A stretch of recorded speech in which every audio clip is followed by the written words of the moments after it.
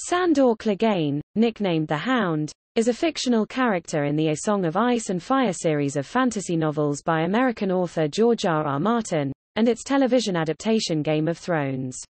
Introduced in 1996's A Game of Thrones, Sandor is the estranged younger brother of Sir Gregor Clegane, from the fictional Seven Kingdoms of Westeros. Sandor serves as King Joffrey Baratheon's personal bodyguard. He subsequently appeared in Martin's A Clash of Kings, 1998, A Storm of Swords, 2000, and A Feast for Crows, 2005.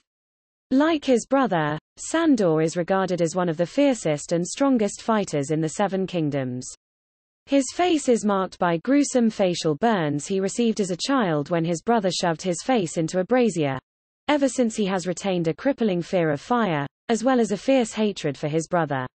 While initially appearing brutal and fatalistic, he later proves to be far more honorable, sympathetic and compassionate, particularly through his relationships with Sansa and Arya Stark.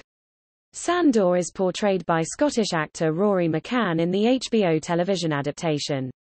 McCann also narrates the animated History and Lore for House Clegane, available in the bonus material on the Blu-ray releases.